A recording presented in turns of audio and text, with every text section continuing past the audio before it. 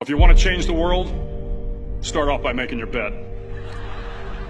If you make your bed every morning, you will have accomplished the first task of the day. It will give you a small sense of pride, and it will encourage you to do another task, and another, and another. And by the end of the day, that one task completed will have turned into many tasks completed. Making your bed will also reinforce the fact that the little things in life matter. If you can't do the little things right, you'll never be able to do the big things right. And if by chance you have a miserable day, you will come home to a bed that is made. That you made. And a made bed gives you encouragement that tomorrow will be better. To pass SEAL training, there are a series of long swims that must be completed. One is the night swim. Before the swim, the instructors joyfully brief the students on all the species of sharks that inhabit the waters off San Clemente. They assure you, however, that no student has ever been eaten by a shark, at least not that they can remember. But you are also taught that if a shark begins to circle your position, stand your ground. Do not swim away. Do not act afraid. And if the shark, hungry for a midnight snack, darts towards you, then summons up all your strength and punch him in the snout and he will turn and swim away.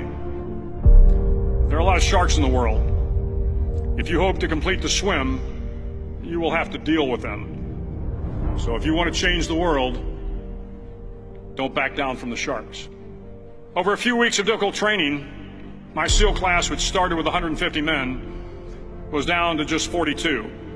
There were now six boat crews of seven men each. I was in the boat with the tall guys, but the best boat crew we had was made up of the little guys, the Munchkin crew, we called them.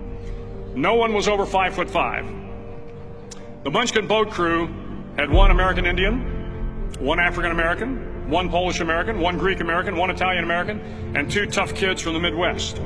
But somehow these little guys, from every corner of the nation and the world, always had the last laugh, swimming faster than everyone and reaching the shore long before the rest of us. SEAL training was a great equalizer.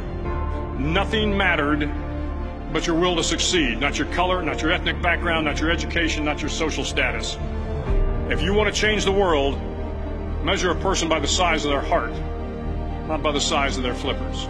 If I have learned anything in my time traveling the world, it is the power of hope.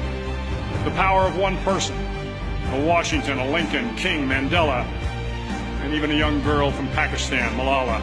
One person can change the world by giving people hope. So if you want to change the world, start each day with a task completed. Find someone to help you through life. Respect everyone. Know that life is not fair and that you will fail often.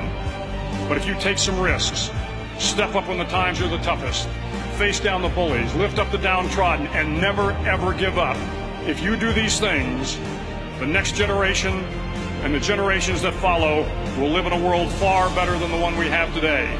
And what started here will indeed have changed the world for the better.